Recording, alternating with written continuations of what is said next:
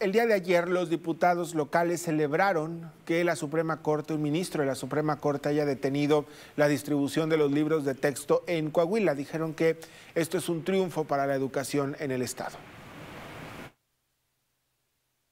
Luego de que la Suprema Corte de Justicia de la Nación suspendió la distribución de los nuevos libros de texto gratuitos, la diputada del PRI, María Bárbara Cepeda, aseguró que esto beneficia a la educación. La coordinadora de la Comisión de Niños, Niñas y Adolescentes aseguró que levantó la voz para defender lo que los padres de familia consideran pertinente para la formación de sus hijos. Esto viene a favorecer en la educación de las niñas y niños eh, de Coahuila. Estoy segura que, que, que desde la Secretaría de Educación Pública del Estado, pues vamos a fortalecer esta, eh, eh, el tema de, los libros de apoyo y, bueno, también obviamente eh, con los libros de texto de los años anteriores. Asimismo, la diputada Edna Iliana Dávalos Elizondo sostuvo que el Congreso del Estado escuchó y atendió las peticiones de los padres de familia que se manifestaron en contra de los libros de texto por su contenido. Ganó la voz de la ciudadanía, ganan esto los padres de familia, inclusive pues estuvieron aquí en el Congreso, los escuchamos